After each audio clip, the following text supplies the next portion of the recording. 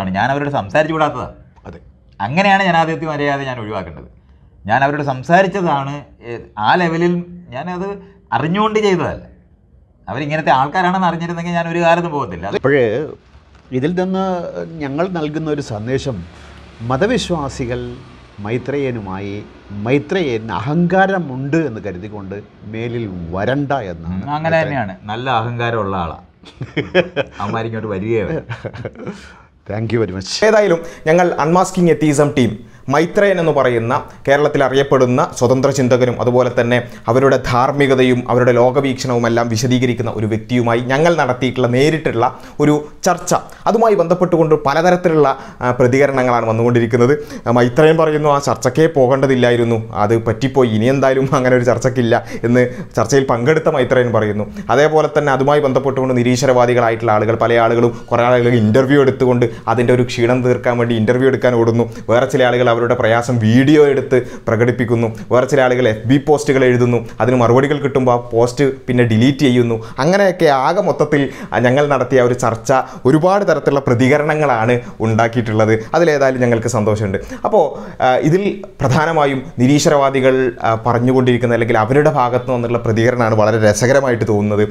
E. A. Jabbar എന്ന് പറയുന്ന നിരീശ്വരവാദി നമ്മുടെ ചർച്ചയുമായി ബന്ധപ്പെട്ടുകൊണ്ട് പ്രതികരിച്ചിട്ടുള്ള എന്താണെന്ന് ചോദിച്ചാൽ മൈത്രയനുമായി ഇവർ ചർച്ച നടത്തിയിട്ട് എന്തോ ചില വാക്കുകളൊക്കെ കിട്ടിയത് ഇവർ ആഘോഷിക്കുകയാണെന്നാണ് ഇ എ ജബ്ബാർ പറഞ്ഞുകൊണ്ടിരിക്കുന്നത്. അവസാനം ഇവർ ഒന്നും പറയാനില്ലാഞ്ഞിട്ട് പഴയ ചോദ്യങ്ങൾ തന്നെ അദ്ദേഹത്തെ പ്രകോപിപ്പിക്കുന്ന രീതിയിൽ ആവർത്തിച്ചപ്പോ അദ്ദേഹം എന്തോ ഒന്ന് പറഞ്ഞു.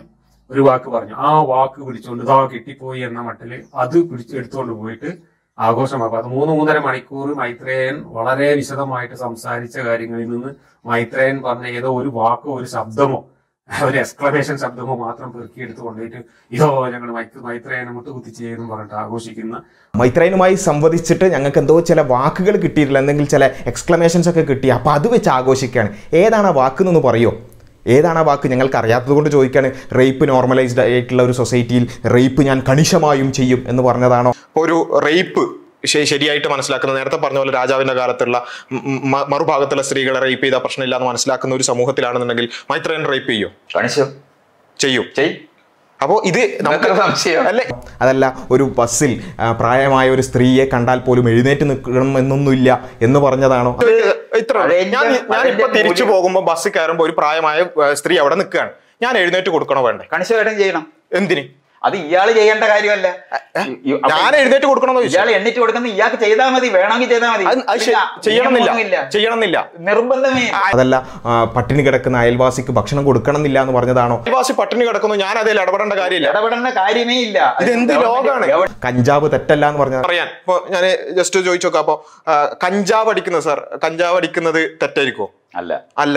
അപ്പോ ആ രൂപത്തിലാണ് ഏതാണ് ആ വാക്ക് എന്ന് പറഞ്ഞാൽ മതി. കാരണം മൊത്തത്തിൽ ഞങ്ങളെ സംബന്ധിച്ചിടത്തോളം ആ ചർച്ച മൊത്തത്തിൽ തന്നെ ഞങ്ങൾ ഉദ്ദേശിച്ച കാര്യങ്ങളെല്ലാം അതിൽ വന്നിട്ടുണ്ട്. അപ്പോൾ അതിൽ ഏതാണ് ആ വാക്ക് എന്ന് പറഞ്ഞാൽ മതി. അപ്പോൾ അതിൽ പ്രയാസപ്പെട്ടിട്ടൊന്നും കാര്യമില്ല. ഞങ്ങളെ സംബന്ധിച്ചിടത്തോളം ഇവരിങ്ങനെ ഇങ്ങനെ ഭയങ്കരമായി പ്രയാസപ്പെടാൻ കാരണം എന്താ വെച്ചാൽ എത്തീസ്റ്റുകളും ലിബറലുകളും ഭയങ്കരമായി ഈ ഒരു ചർച്ചയുമായി ബന്ധപ്പെട്ടുകൊണ്ട് പ്രയാസപ്പെടാനുള്ള കാരണം ഞങ്ങൾ മനസ്സിലാക്കുന്നതെന്ന് വെച്ചാൽ ഇവർ പല ആളുകളും ഷുഗർ കോട്ട് ചെയ്ത് പറയുന്ന മതരഹിതമായ മൂല്യങ്ങൾ വളരെ പച്ചയായി തുറന്നു കാട്ടി ഈ ഒരു ചർച്ച എന്നുള്ളത് കൊണ്ടാണ് ഞങ്ങളും അത് തന്നെയായിരുന്നു ആഗ്രഹിച്ചത്. അല്ലാതെ മൈത്രയനുമായി സംവദിച്ചുകൊണ്ട് അദ്ദേഹവുമായി ഒരു ഡിബേറ്റ് നടത്തിക്കൊണ്ട് കഞ്ചാവ് തെറ്റല്ല എന്ന് അദ്ദേഹത്തെ ബോധ്യപ്പെടുത്താൻ സാധിക്കും. അല്ലെങ്കിൽ റേപ്പ് എല്ലാ കാലത്തും തെറ്റാണ് എന്ന് അദ്ദേഹത്തെ ബോധ്യപ്പെടുത്താൻ സാധിക്കും. അല്ലെങ്കിൽ ഇത്തരത്തിലുള്ള മാനവികമായി നമ്മൾ പിന്നെ വ്യക്തിപരമായി ചെയ്യുന്ന കാര്യങ്ങൾ ഇപ്പോൾ ഒരു ഒരു പ്രായമായ സ്ത്രീയെ കാണുമ്പോൾ എഴുന്നേറ്റ് കൊടുക്കുക അല്ലെങ്കിൽ പട്ടിണി കിടക്കുന്ന ഒരാളെ കാണുമ്പോൾ അയാളെ സഹായിക്കുക പോലെയുള്ള മൂല്യങ്ങൾ അത് നന്മയാണ് എന്നൊക്കെ മൈത്രേനെ കൊണ്ട് സമ്മതിപ്പിക്കുക എന്നുള്ളതൊന്നുമല്ല ഞങ്ങളുടെ പിന്നെ ഉദ്ദേശ്യം എന്ന് പറയുന്നത്. അതൊക്കെയാണ് തന്നെ എല്ലാവരും അങ്ങനെയുള്ള മൂല്യങ്ങളിലേക്ക് വരണം എന്നൊക്കെയാണ് ഞങ്ങളുടെ ആഗ്രഹം. അല്ലാതെ പക്ഷേ ഈ ഒരു ഡിബേറ്റ് നടത്തിക്കൊണ്ട് അദ്ദേഹത്തെ കൊണ്ട് ഇത് സമ്മതിപ്പിക്കണം എന്നൊന്നും ഞങ്ങൾ കരുതിയിട്ടേ ഇല്ല ഞങ്ങൾ ഇത്രയേ വിചാരിച്ചിട്ടുള്ളൂ. മതരഹിതമായി മൂല്യങ്ങൾ വിവക്ഷിക്കുമ്പോൾ മതത്തിനപ്പുറത്തേക്ക് അല്ലെങ്കിൽ ദൈവം കൽപ്പിച്ചു എന്നുള്ളതിനപ്പുറത്തേക്ക് മൂല്യങ്ങൾക്ക് മറ്റ് മാനദണ്ഡങ്ങൾ കൊണ്ടുപോകുമ്പോൾ അത് ഒന്നിലുമില്ലാത്ത ഒരു അവസ്ഥയിലേക്ക് ഒരു അരാജകത്വത്തിലേക്ക് അനാർക്കിയിലേക്ക് സൊസൈറ്റിയെ കൊണ്ടുപോകും. ഇത് വളരെ കൃത്യമായി കൊണ്ട് മതരഹിതമായ മൂല്യങ്ങൾ പച്ചയായി പറഞ്ഞാൽ അത് കൃത്യമായി ബോധ്യപ്പെടും. അത് മൈത്രേനെ കൊണ്ട് പച്ചയായി പറയിപ്പിക്കുക എന്നുള്ളതായിരുന്നു ഞങ്ങളുടെ ഉദ്ദേശം. അത് വളരെ കൃത്യമായിട്ട് പറഞ്ഞിട്ടുണ്ട്. അത് മാത്രമേ ഞങ്ങൾ ഉദ്ദേശിച്ചിട്ടുള്ളൂ. അത് കേൾക്കുമ്പോൾ ഇതിങ്ങനെ വളരെ ഷുഗർ കോട്ട് ചെയ്ത് പറയുന്ന ആളുകൾ മതരഹിതമായ മൂല്യങ്ങൾ അതിന് പല മാനദണ്ഡങ്ങളുണ്ട് ഹാം പ്രിൻസിപ്പൽ ഉണ്ട് അതുണ്ട് ഇതുണ്ട് എന്നൊക്കെ പറയുന്ന ആളുകളെ സംബന്ധിച്ചിടത്തോളം അവർ പറഞ്ഞുകൊണ്ടിരിക്കുന്നത് ഈ മൂല്യങ്ങൾക്ക് കൃത്യമായ ബേസ് ഒന്നും ആവശ്യമില്ല. ഇല്ലാതെ തന്നെ ഞങ്ങൾക്ക് മൂല്യം പറയാൻ സാധിക്കും.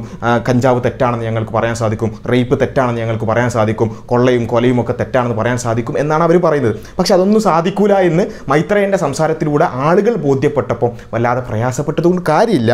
അത് കൃത്യമായി ആ ഒരു എത്തീസ്റ്റ് മൊറാലിറ്റി അല്ലെങ്കിൽ മതരഹിതമായ മൊറാലിറ്റി എക്സ്പോസ്ഡ് ആയതിൽ നിങ്ങൾക്കുള്ള പ്രയാസം ഞങ്ങൾ മനസ്സിലാക്കുന്നു. പക്ഷേ അതിൽ വല്ലാതെ പ്രയാസപ്പെട്ടിരുന്നുകൊണ്ട് കാര്യമില്ല എന്നുള്ളതാണ് അതിൽ വളരെ വിനീതമായി കൊണ്ട് പറയാനുള്ളത്. ഇതിൽ ഈ ഒരു ഇങ്ങനെ ആളുകൾക്ക് ഇത് ബോധ്യപ്പെട്ട് തുടങ്ങിയപ്പോൾ അല്ലെങ്കിൽ ഇതൊരു എക്സ്പോസ്ഡ് ആയപ്പോൾ ഒരാൾ എന്ത് ചെയ്തു? ഇദ്ദേഹവുമായി ഒരു ഇന്റർവ്യൂ നടത്തി. ഇന്റർവ്യൂ നടത്തി എന്തിനാന്ന് ചോദിച്ചാൽ ഈ ഇന്റർവ്യൂ മൈത്രയനുമായി ഞങ്ങൾ നടത്തിയ ചർച്ചയുമായി ബന്ധപ്പെട്ടുകൊണ്ടുള്ള തെറ്റിദ്ധാരണകൾ നീക്കാൻ വേണ്ടിയാണ് ആ ഒരു ഇന്റർവ്യൂ നടത്താൻ പോയിട്ടുള്ളത്. അപ്പോൾ അദ്ദേഹം എന്താണ്? ഞങ്ങൾ നമ്മളും ആ ഒരു തെറ്റിദ്ധാരണ നീക്കാൻ വേണ്ടി ഒരു തെറ്റിദ്ധാരണകൾ ഉണ്ടെങ്കിൽ അത് നീക്കണമല്ലോ. അതിൽ യാതൊരു സംശയമില്ല കേട്ടോ. അപ്പോൾ എന്തായാലും നമുക്കും എന്ത് ചെയ്യാം? ആ തെറ്റിദ്ധാരണകൾ അങ്ങോട്ട് നീക്കിക്കളയാം. എന്തെങ്കിലും തരത്തിലുള്ള തെറ്റിദ്ധാരണകൾ. എന്താണ്? അദ്ദേഹം ഓരോ കാര്യങ്ങളായിട്ട് ഒരു ഡയറിയിൽ എഴുതി വെച്ചിട്ട് ഓരോ തെറ്റിദ്ധാരണകളാക്കി നീക്കാൻ പോവുകയാണ് നമുക്കും എന്ത് ചെയ്യാം? അദ്ദേഹത്തിന്റെ കൂടെ ഇരുന്ന് ആ തെറ്റിദ്ധാരണകളൊക്കെ മാറ്റാം. ഒന്നാമത്തെ തെറ്റിദ്ധാരണ എന്താ വെച്ചാൽ ഞങ്ങൾ പറഞ്ഞിരുന്നു മൈത്രനുമായി ചർച്ച തുടങ്ങി. ചർച്ചയിൽ അദ്ദേഹവുമായി ബന്ധപ്പെട്ടുകൊണ്ട് വളരെ കൃത്യമായ ചില ചോദ്യങ്ങൾ ചോദിച്ചു. അദ്ദേഹത്തിന്റെ ഒരുപാട് കഥകളുണ്ടായിരുന്നു അദ്ദേഹം പറയുന്ന ലോകവീക്ഷണം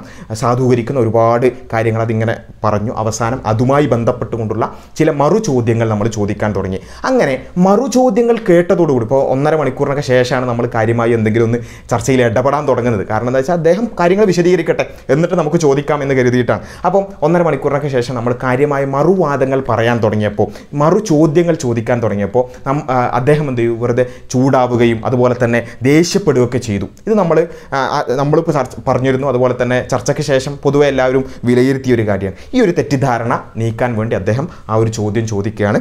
അങ്ങനെ ശബ്ദം ഉയർത്തുകയും ചൂടാവുകയൊക്കെ ചെയ്തിട്ടുണ്ടോ? താങ്കൾ ശബ്ദം ഉയർത്തുകയും ചൂടാവുകയും ചെയ്യും കണിശമായിട്ട് ഞാൻ ചെയ്യും.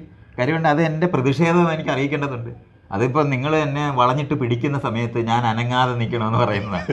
അത് ജനാധിപത്യമൊന്നുമല്ല ആ, തെറ്റിദ്ധാരണ മാറിയല്ലോ. ശബ്ദം ഉയർത്തുകയും ചെയ്തിട്ടുണ്ട് ചൂടാവുകയും ചെയ്തിട്ടുണ്ട്. അത് ആണ് ആ- തെറ്റിദ്ധാരണ മാറി. ഓക്കെ ഇനി അടുത്ത ഒരു ചോ അടുത്തൊരു തെറ്റിദ്ധാരണ അദ്ദേഹത്തെക്കുറിച്ച് നമ്മളൊക്കെ ഉണ്ടാക്കിയ ഒരു തെറ്റിദ്ധാരണയാണ്. കുടുംബം എന്ന് പറയുന്ന വ്യവസ്ഥിതി അത് ജനാധിപത്യ വിരുദ്ധമാണ് എന്ന് മൈത്രയും പറഞ്ഞു എന്നാണ് വലിയൊരു തെറ്റിദ്ധാരണയാണ്. ആ തെറ്റിദ്ധാരണയെ നമുക്ക് നീക്കി കളയാം അല്ലേ? അദ്ദേഹത്തോട് തന്നെ ചോദിക്കാം. അപ്പോൾ താങ്കൾ പറഞ്ഞു പോലും കുടുംബ സംവിധാനം ജനാധിപത്യ വിരുദ്ധമാണ്. യാതൊരു സംശയവുമില്ല. ഇവിടുത്തെ ഏത് വീടും സാമൂഹ്യ വിരുദ്ധ കേന്ദ്രമാണ്. എല്ലാ വീടുകളും സാമൂഹ്യ വിരുദ്ധരാണ്. ആ ജനാധിപത്യ വിരുദ്ധമാണെന്ന് മാത്രമല്ല സാമൂഹ്യ വിരുദ്ധ കേന്ദ്രങ്ങൾ കൂടിയാണ് കുടുംബം. അപ്പോൾ ആ തെറ്റിദ്ധാരണയെ മാറിയല്ലോ. ഇനി അടുത്ത ഒരു തെറ്റിദ്ധാരണ മൈത്രേനുമായി ബന്ധപ്പെട്ട് നമ്മളൊക്കെ ഉണ്ടാക്കുന്നത് വെച്ചാൽ മൈത്രേയൻ പറയുന്നു ആണിന് ആണിന്റെ ദൗത്യം എന്ന് പറഞ്ഞാൽ കുട്ടികൾ ഉണ്ടാക്കുക എന്നുള്ളത് മാത്രമാണ്. അത് അതിനപ്പുറത്തേക്ക് ദൗത്യമൊന്നുമില്ല ആണിന് എന്ന് മൈത്രയം പറയുന്നു. എന്ന് വെച്ചാൽ നമ്മളൊക്കെ പറയുന്നത് വെച്ചാൽ ഒരു ആണും പെണ്ണും കൂടിയാണ് ഒരു കുട്ടി ഉണ്ടാക്കുന്നത്. അപ്പോൾ അതിന്റെ നേച്ചറിങ്ങിൽ ആണിനും പെണ്ണിനും ദൗത്യങ്ങളുണ്ട് എന്നാണ് നമ്മൾ പറയുന്നത്. അതല്ല ആണിന് ഒരു ദൗത്യമില്ല ആണിന് കുട്ടി ഉണ്ടാക്കി പോയാൽ മതി എന്നതാണ് മൈത്രേന്റെ വാദം എന്ന് നമ്മൾ തെറ്റിദ്ധരിപ്പിക്കുന്നു. ഓക്കെ ആ തെറ്റിദ്ധാരണ നീക്കാൻ അദ്ദേഹം എന്ത് ചെയ്തു? ഡയറിക്ക് ഡയറിയൊക്കെ ആയിട്ട് മൈത്രേന്റെ അടുത്ത് പോയി ആ തെറ്റിദ്ധാരണ നീക്കാൻ പോവുകയാണ്. മൈത്രേനോട് അത് ചോദിക്കാം. ആണിന്റെ ദൗത്യം കുട്ടി ഉണ്ടാക്കൽ മാത്രമാണ് എന്നാണോ? ചോദിക്കാം. ഒരു കാര്യമാണ് ആണിന്റെ ദൗത്യം കുട്ടിയെ ഉണ്ടാക്കൽ മാത്രമാണ്. പിന്നെ അല്ലാതെ വേറെ എന്താണ്? പിന്നെ പരസ്പരം അടിച്ച് കൊല്ലുകയും കൂടെ ചെയ്യുന്നതായിരുന്നു പണ്ടത്തെ അവന്മാരുടെ പണി. വേറെ എന്തായിരുന്നു ഉള്ളത് അല്ല കുടുംബം പോറ്റുന്നതാണല്ലേ കുടുംബം പോറ്റാൻ അമ്മരുടെ ആരോടെങ്കിലും ചോദിച്ചായിരുന്നോ? ഇല്ല കുടുംബം ഉണ്ടായ ഇതുവരെ കുടുംബം പോറ്റാനായിട്ട് കല്യാണം കഴിപ്പിച്ചിട്ട് ജീവനാംശം കൊടുത്ത് നിർബന്ധമായിട്ട് നിർബന്ധമായിട്ട് നോക്കിയിരിക്കുന്നതുകൊണ്ടാണ്. ആ തെറ്റിദ്ധാരണ മാറിയല്ലോ?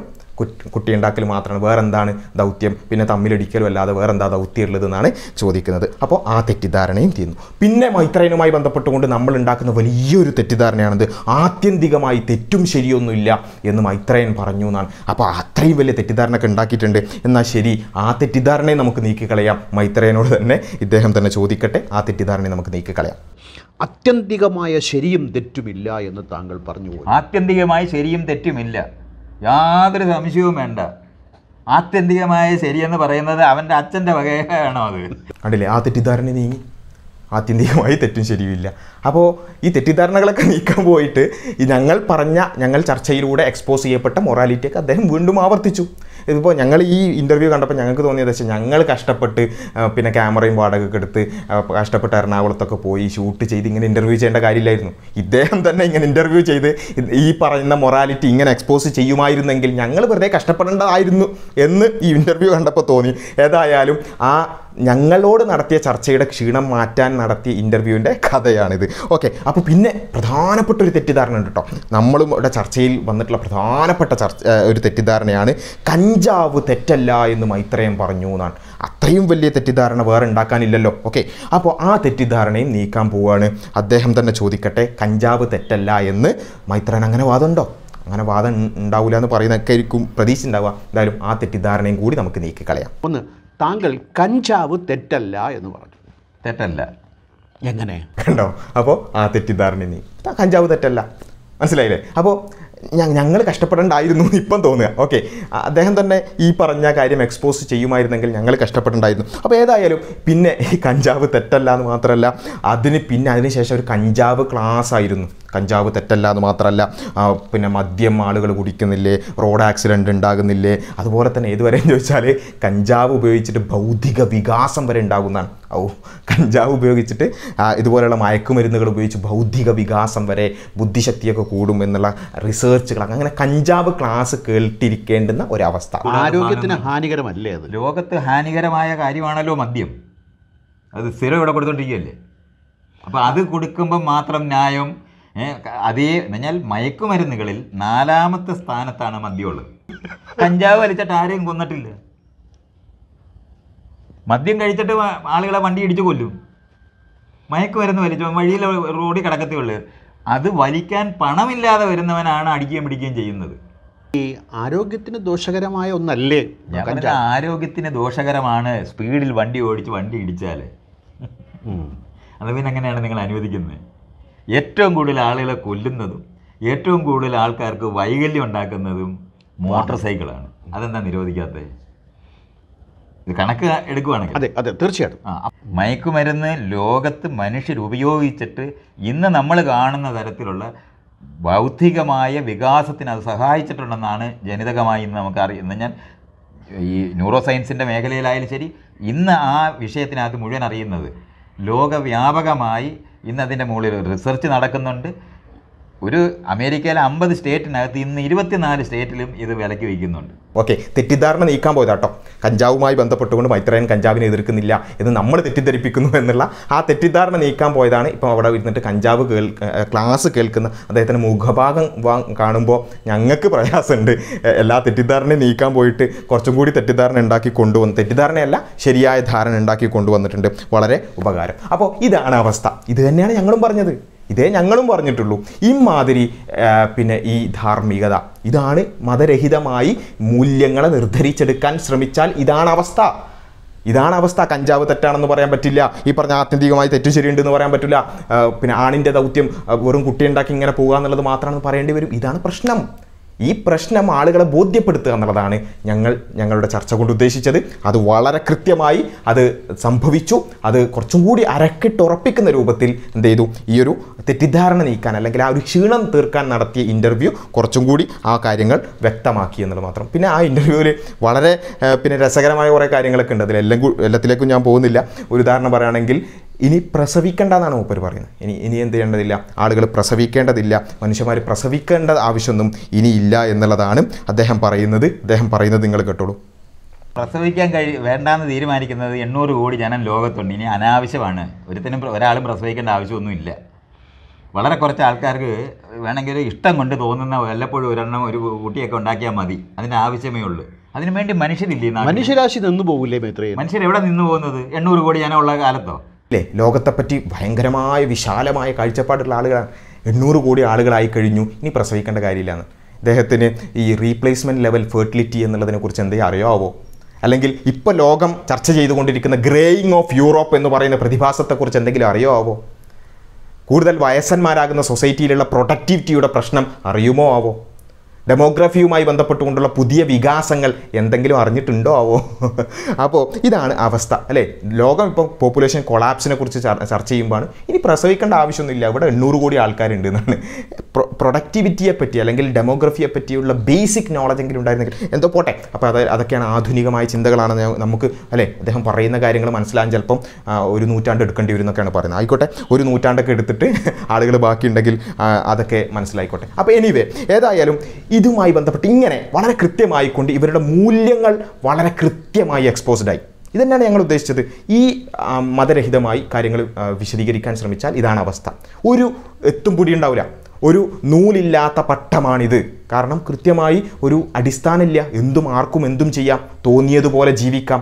ഇതാണ് ഈ എത്തീസ്റ്റിക് മൊറാലിറ്റിയുടെ അല്ലെങ്കിൽ ഗോഡ്ലെസ് മൊറാലിറ്റിയുടെ പ്രശ്നം. ഇത് ബോധ്യപ്പെടുത്തുക എന്നുള്ളതാണ് നമ്മൾ ഉദ്ദേശിച്ചത്. അപ്പോൾ ഇത് കൃത്യമായി ആളുകൾക്ക് ബോധ്യപ്പെട്ടതോടുകൂടി പിന്നെ പറയുന്നത് വെച്ചാൽ നമ്മൾ ചർച്ചയുമായി ബന്ധപ്പെട്ടുകൊണ്ട് അദ്ദേഹത്തെ ചർച്ചയിലേക്ക് കൊണ്ടുവന്നത്. എന്തായാലും ചർച്ച നടന്നതാകെ ക്ഷീണമായി എന്ന് മനസ്സിലായി. പിന്നെ ചർച്ചയിലേക്ക് കൊണ്ടുവന്നത് അങ്ങനെയാണ്. കളവ് പറഞ്ഞിട്ടാണ്. അങ്ങനെയാണ് ഇങ്ങനെയാണെന്ന് പറഞ്ഞിട്ടുള്ള കുറച്ച് കാര്യങ്ങൾ. അപ്പോൾ അതിന്റെ ഇവർ നടത്തിയിട്ടുള്ള ഇന്റർവ്യൂവിന്റെ ഒരു ഒരു ടൈറ്റിൽ തന്നെ ഇവർ കള്ളം പറയുന്നു മൈത്രയനോട് കള്ളം പറഞ്ഞു മുജാഹിദുകൾ കള്ളം പറഞ്ഞു എന്നൊക്കെയാണ് പറയുന്നത്. അപ്പോൾ ഏതായാലും നമുക്ക് നോക്കാം കള്ളം പറഞ്ഞോ? കൃത്യമായി ഞങ്ങൾ സാധാരണ പിന്നെ വ്യക്തിപരമായ ഫോൺ കോളുകൾ നമ്മൾ റെക്കോർഡ് ചെയ്യാറില്ല. ഞാൻ പേഴ്സണലി റെക്കോർഡ് ചെയ്യാറില്ല. ഞങ്ങൾ പൊതുവെ അങ്ങനെ ചെയ്യാറില്ല. പക്ഷേ എന്തോ ഭാഗ്യത്തിന് ഈ ഒരു കാര്യത്തിൽ ഇനി ഇൻ കേസ് എന്തെങ്കിലും പ്രശ്നം വരികയാണോ എന്നുള്ള ആൾക്ക് അത് റെക്കോർഡ് ചെയ്തതുകൊണ്ട് ചില തെളിവുകൾ ഞങ്ങൾക്ക് കാണിക്കാൻ ബാക്കിയായത് മാത്രം പൊതുവേ അത് ചെയ്യാറില്ലായിരുന്നു. ഓക്കെ അപ്പോൾ ഏതായാലും അദ്ദേഹം അതിലേക്ക് കടക്കുന്നതിന് മുമ്പ് ഈ ടൈറ്റിൽ നിങ്ങൾ കൃത്യമായി കണ്ടല്ലോ. ഞങ്ങൾ കള്ളം പറഞ്ഞു എന്നുള്ളതാണ്. ഈ കള്ളം പറഞ്ഞു എന്ന് പറഞ്ഞുകൊണ്ടുള്ള ആ വീഡിയോയുടെ അകത്ത് ഈ ഇന്റർവ്യൂ ചെയ്യുന്ന ആൾ എങ്ങനെയെങ്കിലും നമ്മൾ കള്ളം പറഞ്ഞു എന്നൊക്കെ വരുത്തി തീർക്കാൻ ശ്രമിക്കാൻ വേണ്ടി ചോദിക്കുകയാണ് ഇവർ കള്ളം പറഞ്ഞിട്ടാണല്ലോ കൊണ്ടുവന്നത് എന്ന് ചോദിക്കുമ്പോൾ ഈ കള്ളം പറഞ്ഞു എന്ന് പറഞ്ഞ് ടൈറ്റിൽ കൊടുത്ത അതേ വീഡിയോയിൽ പറയുന്നത് നിങ്ങൾ കേട്ടോളൂ. അപ്പോൾ താങ്കൾ ഇന്റർവ്യൂ കൊടുത്തു. താങ്കളോട് കള്ളം പറഞ്ഞാണ് അവർ ഇന്റർവ്യൂ സംഘടിപ്പിച്ചത് തന്നെ. കള്ളം പറഞ്ഞെന്നല്ല സത്യം പറഞ്ഞിട്ടില്ല അതെ അത്. എങ്കിൽ പിന്നെ ആ വഴിയിലേക്ക് വരുമല്ലോ. പറഞ്ഞല്ലേ സത്യം പറയാതിരിക്കുന്ന വീഡിയോയുടെ ടൈറ്റിൽ എന്താണ്? കള്ളം പറഞ്ഞു. വീഡിയോ അദ്ദേഹം പറയുന്നത് എന്താ? കള്ളൊന്നും പറഞ്ഞിട്ടില്ല സത്യമെല്ലാം പറഞ്ഞില്ല എന്നേ ഉള്ളൂ. ഓക്കെ ഇനി അതിനെക്കുറിച്ച് സംസാരിക്കാം. എന്താണ് സത്യമെല്ലാം പറഞ്ഞില്ല എന്ന് പറയുന്നത്? അതായത് ഞങ്ങൾ ഒരു- ഒരു റിലീജിയസ് ബാക്ക്ഗ്രൗണ്ട് ഉള്ള അല്ലെങ്കിൽ മതവുമായി ബന്ധപ്പെട്ടുകൊണ്ട് ആ മതവിശ്വാസികളാണ് എന്ന കാര്യം അദ്ദേഹത്തോട് പറഞ്ഞില്ല എന്നുള്ളതാണ്. ഒന്നാമത്തെ കാര്യം അദ്ദേഹം അത് ചോദിച്ചിരുന്നോ എന്നുള്ളതാണ്. അദ്ദേഹം തന്നെ പറയട്ടെ ഞങ്ങളോട് അത് ചോദിച്ചിരുന്നോ എന്നുള്ളത് അദ്ദേഹം തന്നെ പറയട്ടെ. വിളിക്കുന്നത്. അവരാരാണെന്ന് ഞാൻ ചോദിച്ചില്ല എന്ന് പറയുന്നത് ഞാൻ ആരോടും ചോദിക്കാറില്ല എന്നുള്ളതുകൊണ്ടാണ്.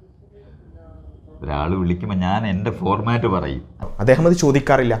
ചോദിക്കാറില്ല എന്നുള്ളത് മാത്രമല്ല ഞങ്ങളെ പറയാൻ പോലും അദ്ദേഹം സമ്മതിച്ചില്ല. കാരണം ഇത് അദ്ദേഹവുമായുള്ള റെക്കോർഡിംഗ് ഞങ്ങളുടെ കയ്യിൽ പൂർണമായിട്ടുണ്ട്. അപ്പോൾ അതിൽ അദ്ദേഹത്തോട് നമ്മൾ പറയാൻ ശ്രമിക്കുന്നുണ്ട് എന്താണ് വിഷയം? അതുപോലെ തന്നെ എങ്ങനെയാണ് ചർച്ചയുടെ ഫോർമാറ്റ് ഏത് രൂപത്തിലാണെന്നൊക്കെ നമ്മൾ പറയാൻ ശ്രമിക്കുമ്പോൾ അദ്ദേഹം പറയുന്നത് എന്താ വെച്ചാൽ അതൊന്നും എനിക്കറിയേണ്ട. അതൊക്കെ നിങ്ങൾ നോക്കേണ്ട കാര്യമാണ്. എന്നോട് ഡേറ്റും സമയവും പറഞ്ഞാൽ മതി. അത് മാത്രമേ എനിക്കറിയേണ്ട കാര്യമുള്ളൂ. ബാക്കിയൊന്നും എനിക്കറിയേണ്ട കാര്യമില്ല. ഇങ്ങനെ അങ്ങോട്ടൊന്നും പറയാൻ സമ്മതിക്കാതെ എനിക്ക് ഇത്ര ഏത് ദിവസമാണ് അത് മാത്രമേ എനിക്ക് അറിയേണ്ടുള്ളൂ ഞാൻ അങ്ങോട്ട് പിന്നെ അത് മാത്രമേ എനിക്ക് അറിയേണ്ട കാര്യമുള്ളൂ. ബാക്കിയൊക്കെ നിങ്ങൾ ശരിയാക്കേണ്ട കാര്യമാണ്. വിഷയം അവിടെ എത്തിയിട്ട് എന്നോട് പറഞ്ഞാൽ മതി. എന്നൊക്കെയാണ് അദ്ദേഹം പറയുന്നത്. ഇങ്ങനെ പറയുന്ന ഒരാളോട് ഞങ്ങൾ എങ്ങനെയാണ് കാര്യങ്ങൾ വിശദീകരിക്കേണ്ടത്? ഞങ്ങളുടെ ഐഡന്റിറ്റിയെ സംബന്ധിച്ചിടത്തോളം ഞങ്ങൾ ആരാണെന്നുള്ളത് ഞങ്ങൾക്ക് മറച്ചുവെക്കേണ്ട കാര്യമൊന്നുമില്ല.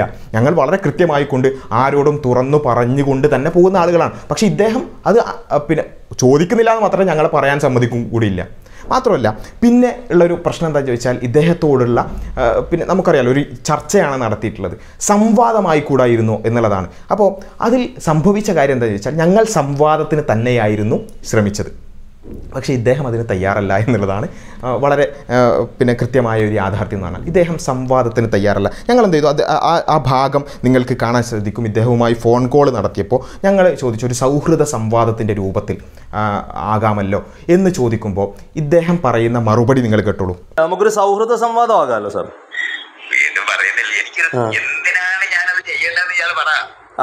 സാർ അത് ഓഡിയൻസ് കുറെ പേര് നമ്മളിത് ആവശ്യപ്പെട്ടിരുന്നത് ഓഡിയൻസ് ചോദിക്കാൻ പഠിക്കണത് ഓഡിയൻസിന് കേൾക്കാനാണ് അതെ സാർ അവസാനം നമുക്ക് അങ്ങനത്തെ സെഷൻ ഉണ്ട്.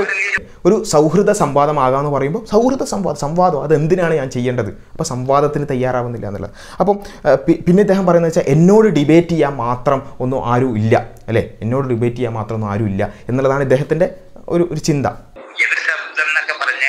എതിർ ശബ്ദം എന്നൊക്കെ പറഞ്ഞ് ഞാനുമായിട്ട് ഡിബേറ്റ് ചെയ്യാനൊക്കെ വിളിച്ച വെറുതെ ഞാൻ അവരെ കാര്യങ്ങൾ കഷ്ടിക്കും പിന്നെ അതിന്റെ പുറകെ അതെ അത് അറിയാം സാർ. സാർ അറിയാം അറിയാം. അത് എനിക്ക് അങ്ങനത്തെ യാതൊരു കാര്യം ഞാൻ കണ്ടിട്ടുള്ളതാണ്. സാറിന്റെ ഡിബേറ്റ്സ് എല്ലാം ഞാൻ കണ്ടിട്ടുള്ളതാണ്. ഡിബേറ്റ് ചെയ്യാനായിട്ടുള്ള അറിവുള്ള ആളുകളൊന്നും ഈ ആ പ- പ്രദേശത്തൊക്കെ ഉണ്ടാകാൻ ഒരു സാധ്യതയില്ല. അതെ അതെ ശരിയാണ് ശരിയാണ്. കൊച്ചിയിലല്ലേ സാറേ? ഇങ്ങനെ ഇവിടെ മനസ്സിലാക്കുക ഡിബേറ്റ് ചെയ്ത് പ്രൂവ് ചെയ്യാനായിട്ട് എനിക്കൊന്നുമില്ല. അപ്പോൾ എന്നോട് ഡിബേറ്റ് ചെയ്യാൻ മാത്രമൊന്നും ആരുമില്ല. എന്നോട് സംവദിക്കാൻ മാത്രമൊന്നും ആരുമില്ല. ഈ അല്ലേ കൊച്ചി അത- ലോകത്ത് എന്നെ വെല്ലാൻ ആരുമില്ല എന്നൊക്കെ പറയുന്ന മാതിരി അത്തരത്തിൽ ചിന്തിക്കുന്ന ഒരാളോട് പിന്നെ സംവാദത്തിന് അദ്ദേഹം എന്തായാലും തയ്യാറാവുന്നില്ല. പിന്നെ നമ്മൾ എന്ത് ചെയ്ത് നോക്കി? ഒരു ഒരു പിന്നെ എതിർ വാദങ്ങളൊക്കെ ചർച്ച ചെയ്യുന്ന രൂപത്തിലുള്ള ഒരു ചർച്ച എന്ന് പറയാൻ നോക്കി. അപ്പോൾ അദ്ദേഹം പറയുന്നത് എന്താ വെച്ചാൽ എന്തുവാടോ ഈ എതിർ ശബ്ദം എന്നാണ് അതെ അതെ സാർ. അപ്പോൾ ശബ്ദം നമ്മൾ എതിർ ശബ്ദങ്ങളും കൂടെ വന്നാലും ഒരു ഒരു രസകരമായിട്ടുള്ള ചർച്ച നടക്കുള്ളൂ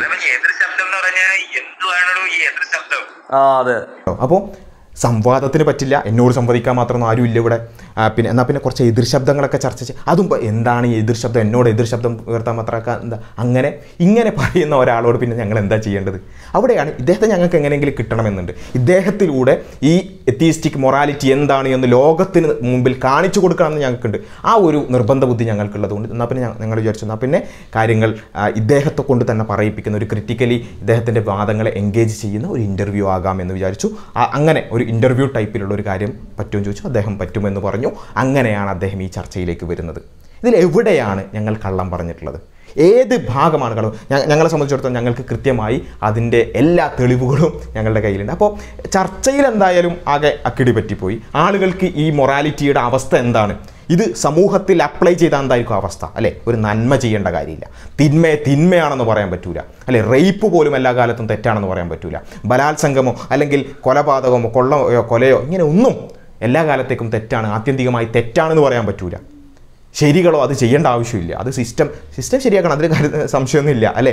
സിസ്റ്റം ശരിയാക്കാൻ നമ്മൾ എല്ലാവരും ഏറ്റവും നല്ല രൂപത്തിലുള്ളൊരു സിസ്റ്റം ഡെവലപ്പ് ചെയ്യാനുള്ള ശ്രമങ്ങൾ നടത്തണം. അതിൽ യാതൊരു സംശയമില്ല പക്ഷേ ഇവിടെ ചോദ്യം എന്താണെന്ന് ചോദിച്ചാൽ ഒരു വ്യക്തിയുടെ മൊറാലിറ്റി അത് നിശ്ചയിക്കാൻ കോൺസ്റ്റിറ്റ്യൂഷന് സാധിക്കുമോ? അല്ലെങ്കിൽ അതിൽ അതിൽ എത്രത്തോളം സാധിക്കും എന്നുള്ളതാണ് ചോദ്യം. ഒരു വ്യക്തി ചെയ്യുന്ന നന്മകൾ എന്ന് അതിനുള്ള ഉദാഹരണമായിട്ടാണ് ബസ്സിൽ നിന്ന് എഴുന്നേറ്റ് കൊടുക്കുക അല്ലെങ്കിൽ പട്ടിണി കിടക്കുന്ന ഒരാളെ കണ്ടാൽ അയാളോട് ദയ തോന്നി അല്ലെങ്കിൽ അയാൾക്ക് എന്തെങ്കിലും ഭക്ഷണം കൊടുക്കുക പോലുള്ള കാര്യങ്ങൾ ചോദിച്ചു ആ വ്യക്തിപരമായി നമ്മൾ ചെയ്യുന്ന നന്മകൾക്ക് എന്താണ് അടിസ്ഥാനം എന്നാണ് ചോദ്യം. അടിസ്ഥാനം ഇല്ല. അതുകൊണ്ടാണ് സിസ്റ്റത്തിലേക്ക് പോകുന്നത്. സിസ്റ്റം ഉണ്ടാക്കുക ശരിയാണ്. സിസ്റ്റം ഉണ്ടാക്കണം. പരമാവധി സിസ്റ്റത്തിലൂടെ തന്നെയാണ് കാര്യങ്ങൾ പോകേണ്ടത്. എന്നാൽ ഓരോ വ്യക്തിയും മോറലാകണം ഓരോ വ്യക്തിക്കും നന്മ തിന്മകൾ വേർതിരിക്കാൻ കൃത്യമായ മാനദണ്ഡങ്ങൾ വേണം. ഇല്ലെങ്കിൽ ഇതായിരിക്കും അവസ്ഥ. കഞ്ചാവ് തെറ്റാണെന്ന് പറയാൻ പറ്റൂല. അതേപോലെ തന്നെ റേപ്പ് എല്ലാ കാലത്തും തെറ്റാണെന്ന് പറയാൻ പറ്റില്ല. ഒരു കാര്യം തെറ്റാണ് എന്ന് വിധി പറയാൻ പറ്റൂല. അല്ലേ? ഇത് ആ അവസ്ഥ. ഈ ഒരു അവസ്ഥ ആളുകൾക്ക് മുൻപിൽ കൃത്യമായി ബോധ്യപ്പെടുത്തി കൊടുക്കാൻ ഇദ്ദേഹവുമായി ഒരു ഇന്റർവ്യൂ ആകാം നമ്മൾ വിചാരിച്ചു. അത് കൃത്യമായി നടന്നു. അത് നടന്നതിന്റെ പ്രയാസങ്ങളാണ് ഇപ്പോൾ കേട്ടുകൊണ്ടിരിക്കുന്ന ശബ്ദങ്ങൾ എന്ന് പറയുന്നതിൽ. അതിലേതായാലും ഞങ്ങൾക്ക് വളരെയധികം സന്തോഷമുണ്ട്. ഈ രൂപത്തിൽ കൃത്യമായി ഇതിനെ എക്സ്പോസ് ചെയ്യാൻ കഴിഞ്ഞു എന്നുള്ളത് ഇത്രയേ ഞങ്ങൾ ഉദ്ദേശിച്ചിട്ടുള്ളൂ. ഇങ്ങനെ കൃത്യമായി പച്ചക്ക് കാര്യങ്ങൾ പിന്നെ ആളുകളുടെ മുമ്പിലേക്ക് എത്തട്ടെ. അല്ലാതെ ഇങ്ങനെ വർണക്കടലാസിൽ പൊളി പൊതിഞ്ഞ് വ്യക്തി സ്വാതന്ത്ര്യം അവനവന്റെ ഇഷ്ടങ്ങൾ പിന്നെ എന്താ മൈ ബോഡി മൈ ചോയ്സ് അങ്ങനെ ഇങ്ങനെ എന്നൊക്കെ പറഞ്ഞ് ഈ പൊതിഞ്ഞു വരുന്ന ഒരു സാധനം ഉണ്ടല്ലോ. അതിനെ ആ പൊതി അങ്ങോട്ട് മാറ്റി കൃത്യമായി എന്താണ് ഈ സാധനം എന്ന് ആളുകൾക്ക് ബോധ്യപ്പെടുത്തി കൊടുക്കുക എന്നുള്ളത് മാത്രമാണ് ഞങ്ങൾ ഉദ്ദേശിച്ചത്. അത് വളരെ കൃത്യമായി നടന്നു. അത് നടന്നതിന്റെ പ്രയാസം എത്തിസ്റ്റുകളെക്കാൾ കൂടുതൽ ലിബറലുകൾക്കാണെന്നുള്ളതാണ് ഞങ്ങൾ മനസ്സിലാക്കിയുള്ള കാര്യം. അതുകൊണ്ടാണ് വളരെ ഫേമസ് ആയിട്ടുള്ള ചില ലിബറലുകളൊക്കെ ഫേസ്ബുക്കിൽ അതിന്റെ ഒരു പ്രയാസം വല്ലാതെ രേഖപ്പെടുത്തിയത്. അപ്പോൾ ആ പ്രയാസങ്ങളൊക്കെ രേഖപ്പെടുത്തുന്നതൊക്കെ ഞങ്ങൾ അറിയുന്നുണ്ട്. ആ കുഴപ്പമില്ല. ആ പ്രയാസം നിങ്ങൾ പ്രയാസപ്പെട്ട് ഇരിക്കുക എന്നുള്ളതല്ലാതെ വേറെ നിവൃത്തിയൊന്നുമില്ല. ഞങ്ങൾ അതിനൊരു മറുപടി തന്നപ്പോഴേക്ക് വീണ്ടും ചില മറുപടി പോസ്റ്റുകൾ വന്നിരുന്നു. ഏതാനും മിനിറ്റുകൾ കഴിഞ്ഞപ്പോൾ ആ മറുപടി പോസ്റ്റുകളൊക്കെ കാണാതായി പോയിട്ടുണ്ട്. അപ്പോൾ അതിലൊന്നും ഞങ്ങൾക്ക് പ്രശ്നമില്ല. പിന്നെ ഏതായാലും അത്തരത്തിലുള്ള കാര്യങ്ങളൊക്കെ നടക്കട്ടെ. ലിബറലുകളെ സംബന്ധിച്ചിടത്തോളം അവരുടെ പ്രശ്നം എന്താണെന്ന് വെച്ചാൽ അവരിങ്ങനെ കഷ്ടപ്പെട്ട് പിന്നെ ലിബേർട്ടി ഇൻഡിവിജ്വൽ ഓട്ടോണമി അങ്ങനെ ഇങ്ങനെ എന്നൊക്കെ പറഞ്ഞ് പതിയെ പതിയെ കൊണ്ടുവരാൻ ശ്രമിക്കുന്ന കാര്യം ഇത്രയും എന്ത് ചെയ്തു?